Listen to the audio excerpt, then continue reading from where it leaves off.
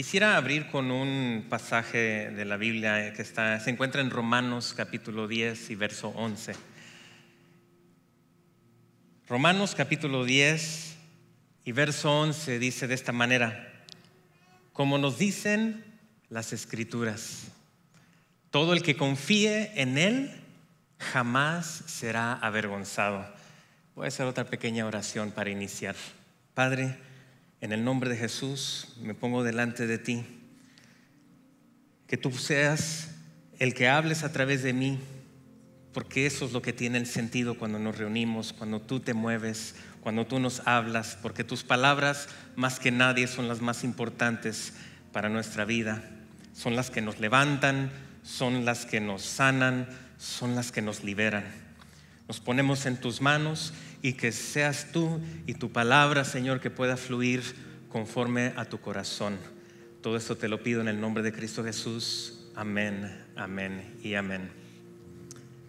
Ahora me ha tocado abrir esta, esta nueva serie, como lo comenzó a decir el pastor, guiados por la voz de Dios.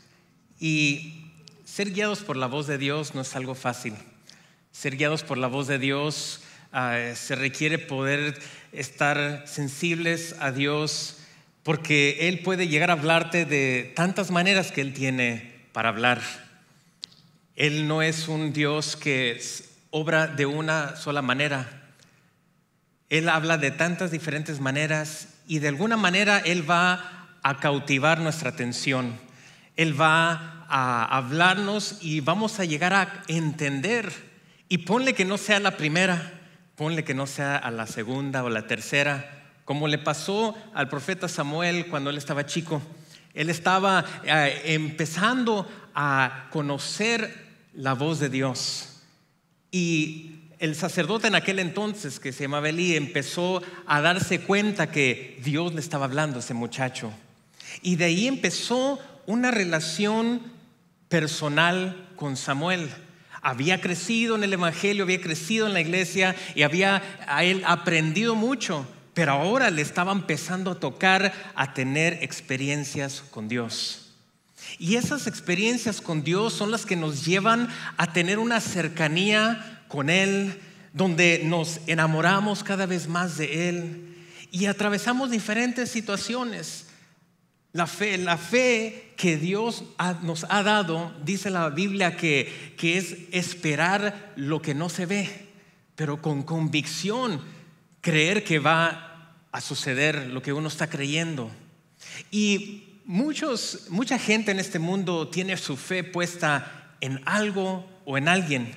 Hay personas que tienen su fe en diferentes dioses, hay gente que tiene su fe en sus trabajos, eh, eh, tienen su fe puesta en, alguna persona, en alguna, en, alguna cosa que les llama, que ellos quieren, que aman. Pero déjame decirles que eh, la misma Biblia nos enseña que la fe viene por el oír y el oír la palabra de Dios.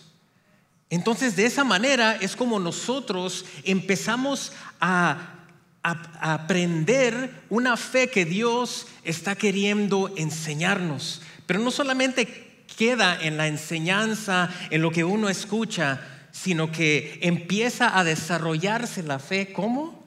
A través de las experiencias. Yo les quiero contar de algunas experiencias mías que, que han ayudado que mi fe crezca, porque cada uno de nosotros llevamos una fe eh, de una medida diferente. Algunas las tienen más, más bajito, otras las tienen más medianos, otros las tienen un poquito más alto. Cada quien tenemos una medida de fe conforme a las experiencias que hemos llegado a tener.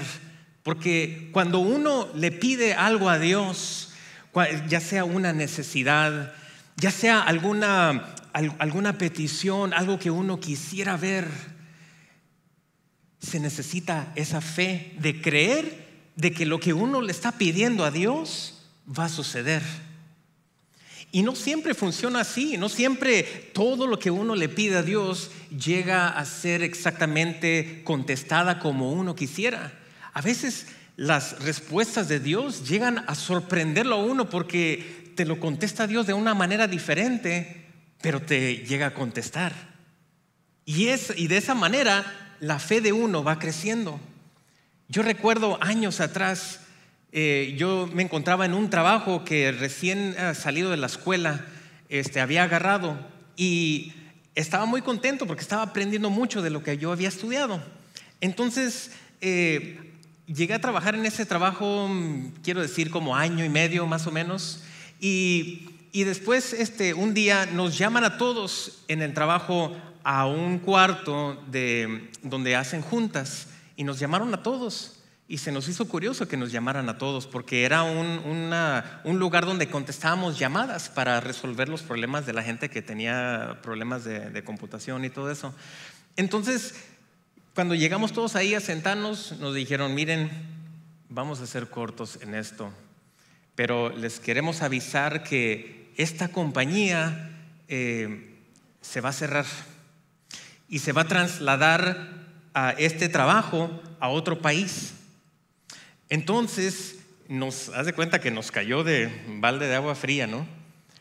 Entonces nos dijeron, pero la buena noticia es de que Ah, no van a ser despedidos hoy mismo, sino que les vamos a dar un tiempo de seis meses para que ustedes encuentren trabajo, porque en seis meses cierra la compañía. Ay, qué feo se siente, ¿verdad? Cuando ah, le llegan noticias así que, que uno no, no se espera. Y ese es un ejemplo de un trabajo. Pero qué eh, noticias de salud, donde nuestra fe empieza a activarse en ese momento pidiéndole a Dios en el interior que el resultado pueda ser algo diferente, pueda ser algo favorable para uno. Entonces, yo cuando yo estaba en ese momento, ya todos bajamos al trabajo y, todos nos dejaron pensativos y hasta yo me imagino que tal vez no nos podíamos concentrar muy bien ya después haciendo el trabajo por, por todo lo que el pensamiento de, uno a veces da tantas vueltas y, ahora qué va a pasar y, cómo le voy a hacer y voy a tener que buscar otro trabajo y, no fue fácil encontrar este trabajo y, bueno, tantas eh, situaciones que, de, duda que a veces empiezan a llegar a la vida de uno. Entonces eh, empezaron a pasar los meses, un mes pasó, y yo empezaba a aplicar y cada quien empezaba a aplicar y, pasaban dos meses y luego escuchaba, yo escuchaba, hey, ya, conseguí un trabajo, me va, voy a trabajar con tal compañía, oh, qué suave. Y luego pasaban las los semanas, los meses, oh, yo ya, ya encontré trabajo, ya ahora es mi último día y pues, este, y empezaba a escuchar de diferentes personas que estaban siendo eh, contestadas por diferentes compañías para, trabajar, para salirse de ahí. Entonces, y, yo, yo, yo, también estaba en esa, en esa jornada de, estar buscando trabajo. Y, yo, yo, veía que, que, se iba acercando, que tres meses, que cuatro meses. Y yo decía, Dios mío, yo, ayúdame, yo, estoy aplicando, estoy, eh, eh, llenando solicitudes, estoy llamando y, no me contestan y estoy esperando y todavía no llega nada y, empieza a suceder en mi mente esa, esa duda de que, ¿y qué si no agarro trabajo cuando ya se termina este, estos meses que están por venir? Que si eh, llega el momento y, yo como yo ya, ya está casado con hijos, yo, imagínense uno eh, con esas responsabilidades, este, llegan a, suceder esos, esas luchas internas donde uno dice que necesito yo encontrar un trabajo. Y yo quería encontrar un trabajo que fuera de acuerdo a lo que yo había estudiado. Entonces yo le, mis oraciones para con Dios le decía, Señor, háblame, ayúdame, ábreme puertas y, declaro que se abren las puertas en, un, trabajo mejor. Y, pasaba el tiempo y creo que me quedaba como un mes. Al quinto mes me llama una compañía para una entrevista y empiezo a sentir un alivio y empiezo a, atravesar esa, ese, ese, proceso de entrevista y atravesé algunos, algunos cuantos, ¿no? Pero algunos otros no, no, no me agarraban.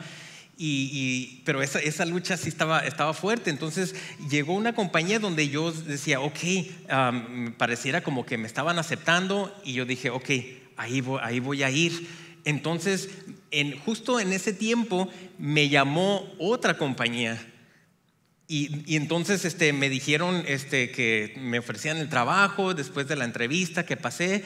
Entonces yo ya estaba así entre dos trabajos. Imagínense, cuando yo pensé que no iba a llegar nada, ya me estaban llegando dos trabajos.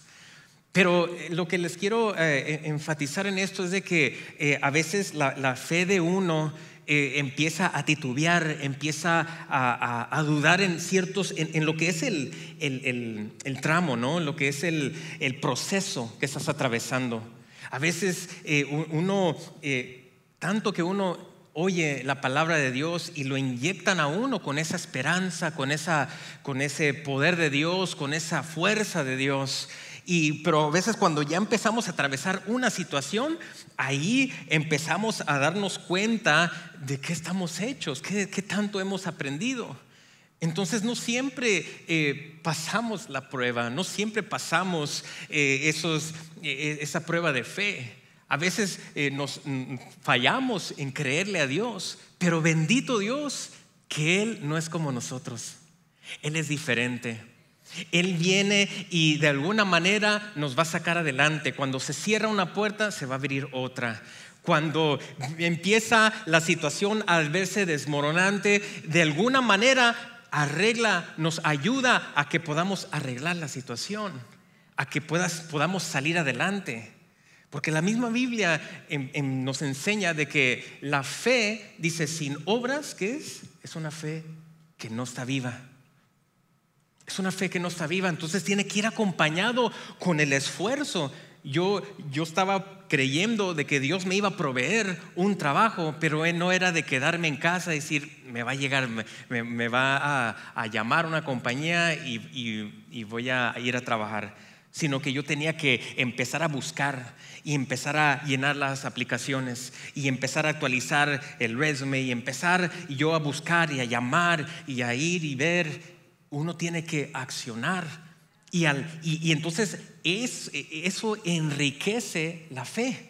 Cuando es acompañada con obras, cuando uno está buscando, cuando uno está eh, eh, esforzándose por querer ver algo mejor.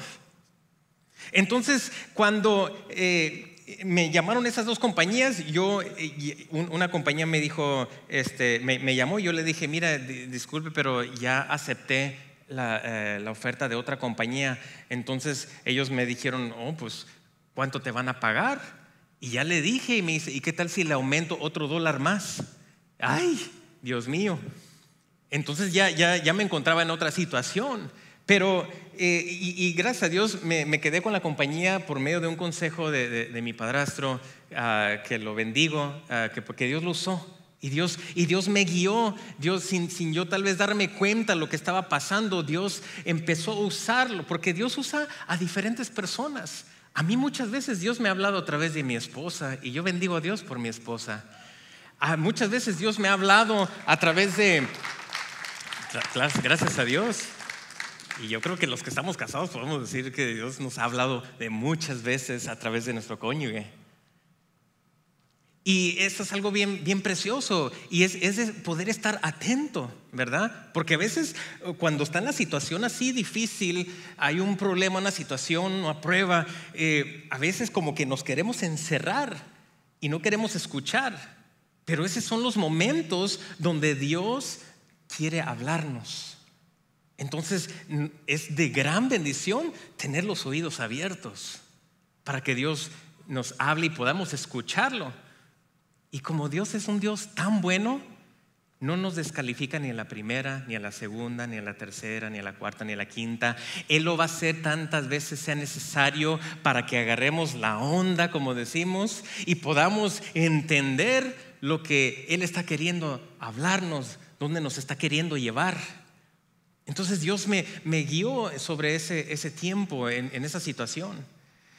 Quiero compartirles otra y discúlpenme que, comparta eh, vivencias eh, mías, pero yo creo que la fe, eh, para que sea una fe cada vez más fortalecida, se requiere de vivencias, se requiere de experiencias, y así es como uno va a dándose cuenta lo, lo maravilloso que es Dios, porque te vas dando cuenta que Él es fiel, aunque nosotros no seamos fieles con Él. Entonces, eh, quiero compartirles este verso que antes de continuar eh, eh, está en el libro de Santiago, capítulo 1, verso 2 a 4. Dice, tened por sumo gozo, hermanos míos, el que os halléis en diversas pruebas, sabiendo que la prueba de vuestra fe produce paciencia y que la paciencia tenga un su perfecto resultado para que seáis perfectos y completos sin que os falte nada. Wow, cuando empiezo a leer que dice que sabiendo que la prueba de vuestra fe produce paciencia, ¿a cuántos de nosotros no nos gustaría que Dios nos contestara así en cuanto terminamos de preguntarle algo? A, cualquiera. Pero wow, Dios sabe cómo hace las cosas y sabe cómo, cómo ayudarnos. Y Él nos enseña de diferentes maneras. Y cada uno de nosotros tenemos una manera diferente de aprender. Por eso yo creo que es, tan diverso Dios como Él trata con nosotros, sus hijos. Pero lo, maravilloso de Dios es de que Él no se queda con los brazos cruzados, Él no se queda con la boca callada, sino que de una u otra manera Dios siempre nos está hablando. El problema es somos nosotros que a veces no, o no queremos escuchar a Dios o no queremos escuchar eh, al, cónyuge o no queremos escuchar tal vez a los hijos o no queremos escuchar a algún amigo, alguna amiga, algún pariente. A veces cuesta cuando uno se encuentra en esa situación y a, veces uno dice, eh, eh, eh, es, más fácil decirlo cuando no estás en el asunto. Y claro, cuando uno está en el asunto, ahí es donde, ah, donde es, nuestra fe empieza a ser trabajada en nuestro interior. Yo, eh, yo este, eh, algunos conocen nuestra historia de cómo nosotros llegamos aquí. Nosotros vivíamos en San Diego por muchos años, yo y mi esposa, y ahí crecimos a nuestros hijos. Y íbamos a una iglesia más para el sur, allá de San Isidro, de, California, casi pegado allá a la frontera. Entonces, este, eh, pasaron unas, unas situaciones que, que no fueron fáciles para nosotros. Pero nosotros ah, empezamos a pedir, yo empecé a pedir dirección de Dios. Empecé a decirle, Señor, eh, eh, necesitamos que tú nos guíes, que tú nos, nos abras puerta, que tú nos saques adelante. Entonces empezamos a, ir a atravesar esa situación ah, y, la, enfrentamos, y, pero le pedíamos a Dios que nos guiara, que nos hablara, que nos ayudara. Y lo hizo de una manera que jamás nos imaginamos. Hasta el día de hoy yo y mi esposa hablamos y decimos, ¿cuándo nos hubiéramos imaginado que llegáramos a vivir por acá? Entonces, eh, atravesamos una lucha de fe bastante grande. Y ahí nos ayudamos, nos apoyamos, yo y mi esposa. A veces ella tenía la fe más fuerte y yo más débil, y a veces era al revés, yo la tenía más fuerte y ella más débil, y nos ayudábamos. Y ahí pidiéndole a Dios que nos guiara, que nos ayudara, que, que nos abriera puertas. Y empezamos a ver la mano de Dios a través del tiempo. No fue algo instante, tomó tiempo para que eso se realizara. Y pasan cosas en la vida de, las vidas que están escritas en la Biblia. Por ejemplo, un discípulo llamado Tomás, si se acuerdan, y le titulan el Tomás el incrédulo. Él dijo, si yo no miro las marcas en sus manos, si yo no pongo mi dedo, no puedo meter mi dedo a través de las marcas y no puedo poner mi, mi mano en su costado, no creeré aunque le habían contado los discípulos, mira, el Señor vive, ya resucitó. Entonces eh, él tenía esa, esa situación difícil que él estaba luchando.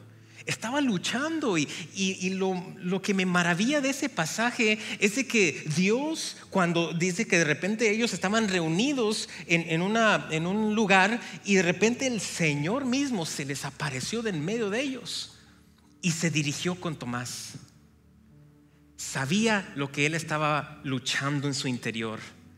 Y eso es lo que me llama mucho la atención de Dios, que Él no da por alto lo que estás pasando. Él no da por alto las dudas, las, eh, eh, las dificultades que pasas en tu interior, sino que Él está atento. y una otra manera, porque aquí en la Biblia menciona que ocho días después se les apareció el Señor. Puede ser que Dios te hable dentro de una semana, de unas horas, de unos meses. Uno no sabe, Dios trabaja de diferentes maneras, pero de lo que sí sé es de que Dios de una u otra manera te va a hablar. De una u otra manera te va a contestar.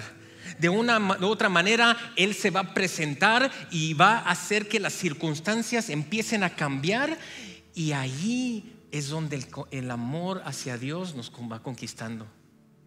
Nos va conquistando porque eh, empezamos a ver nuestra condición, nuestra situación que a veces es débil, que a veces es, está eh, muy baja la fe y no estamos creyendo que Dios nos puede ayudar. Y aún así, Dios es bueno y nos ayuda y nos levanta.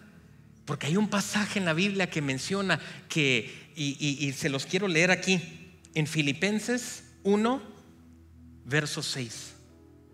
Y estoy seguro de que Dios, quien comenzó la buena obra en ustedes, la continuará hasta que quede completamente terminada el día que Cristo Jesús vuelva. Wow, eso trae mucho consuelo a mi vida, a, nuestras vidas, de que Él, Él mismo prometió perfeccionar la obra que Él empezó en cada uno de nosotros. Puede ser que, que, estemos eh, débiles, que no seamos fieles a Él, que no estemos queriendo escuchar la voz, esa voz que nos quiere guiar hacia algo mejor.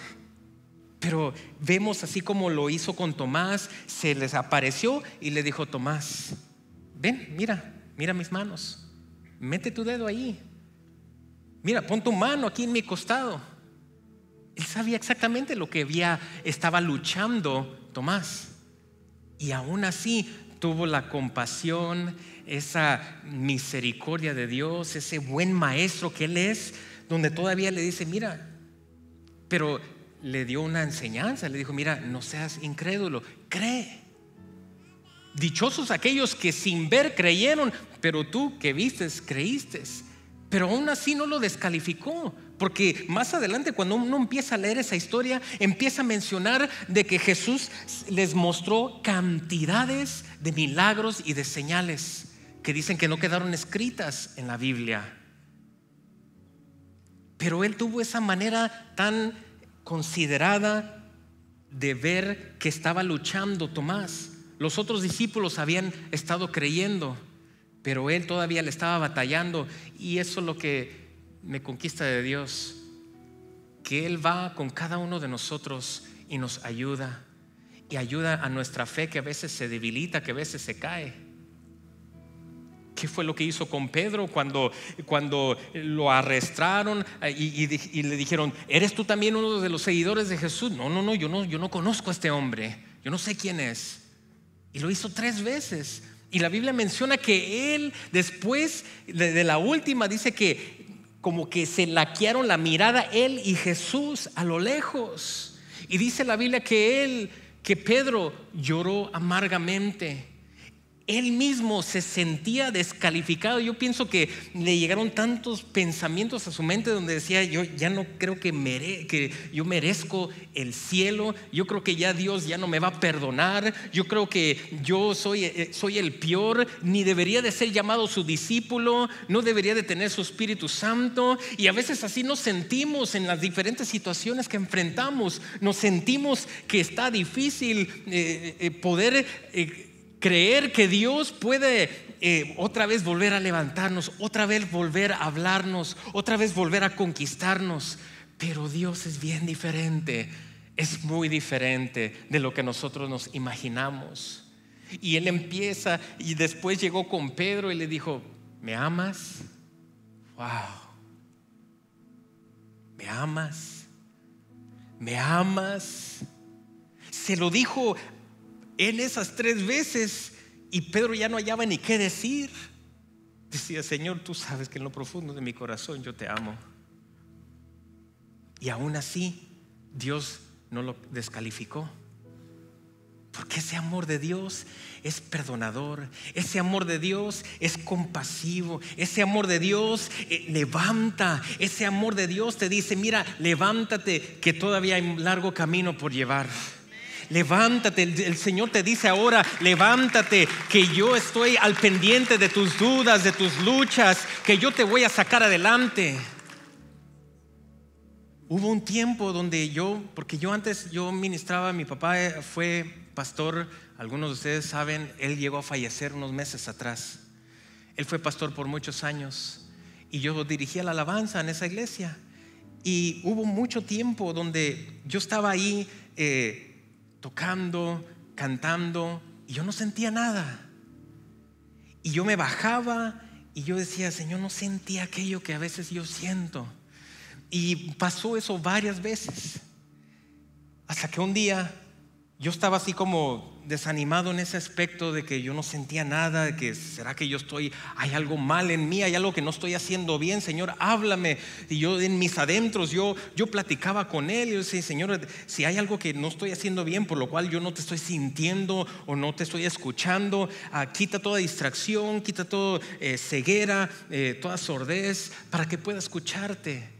Y cuando menos pensé en uno de esos domingos antes de subir, eh, yo ya estaba a punto de subir y, me llama una señora y me dice, hermano, eh, ¿le, puedo, le, ¿le puedo decir algo? le dije, sí.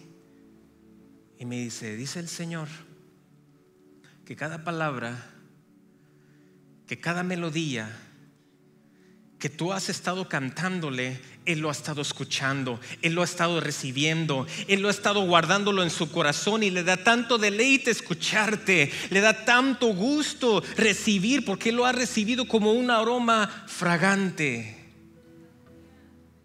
Qué transformadora Dios me dio. ¿Cómo cree que mi fe estaba antes y después? Dio un giro totalmente. Y fue cuando en ese entonces yo empecé a darme cuenta de que no era tanto de lo que yo siento, sino que si la Biblia dice que Él estará con ustedes hasta el fin del mundo, nunca dejemos de creer de que Él no está con nosotros, sino que Él está allí con nosotros. Nunca dejemos de creer porque Él lo dejó escrito para nosotros. Yo sé que atravesamos diferentes fallas, nadie somos perfectos, pero aún así Dios siempre está dispuesto a levantarnos. Hay pasajes en la Biblia donde menciona de, que, mira, a todo aquel que me niegue delante del Padre, también el Padre lo va a negar delante de todos. Pero en el caso de Pedro, lo negó. Hasta lo hizo tres veces pero se encontraba en una situación que ahí solamente Dios es el que juzga el corazón de la gente, a pesar de las situaciones que están pasando alrededor de uno. Y Dios ahí levanta, Dios ahí empieza a hablar, empieza de nuevo a conquistar. Y eso es lo que Dios quiere hacer contigo y conmigo siempre. A través de cualquier situación que atravesemos, que Dios quiere estar ahí para ayudarnos y de alguna manera se te va a revelar, de alguna manera te va a contestar, de alguna manera se va a evidenciar, de una u otra manera te va a dejar saber que Él ha estado allí pendiente de ti y que se ha estado dando cuenta de todos los, que, los pensamientos, las situaciones que has estado atravesando. Entonces, yo quiero animarte, iglesia, en este día a que nuestra fe nos agarremos de Él, aunque a veces titubee, pero no dejemos de creer en Él porque de una u otra manera nos va, nos va a ayudar a que nuestra fe sea más fuerte, que nuestra fe sea más cimentada, que nuestra fe, pero ¿cómo? A través de esas diferentes experiencias. ¿Por qué no se pone de pie ahí donde está y cerremos nuestros ojos? Padre, te doy las gracias. Te doy las gracias, Señor, porque tú estás siempre allí atento a nuestros clamores internos, a nuestros pensamientos que tenemos en la mente.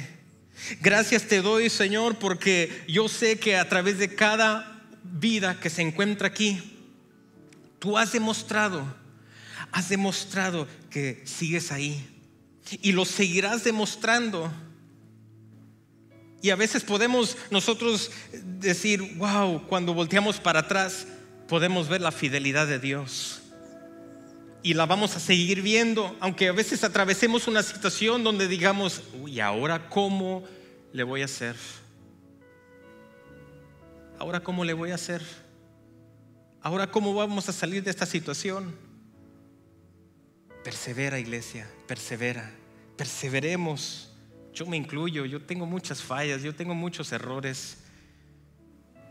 Dios me enseña mucho, pero lo que me conquista de Dios es su paciencia, es su amor incondicional, es su gracia, es su perdón. Señor, yo quiero darte las gracias por todo lo que tú has hecho en mi vida y todo lo que vas a seguir haciendo en cada uno de nosotros. Te bendecimos en el nombre de Cristo Jesús. Amén. Amén.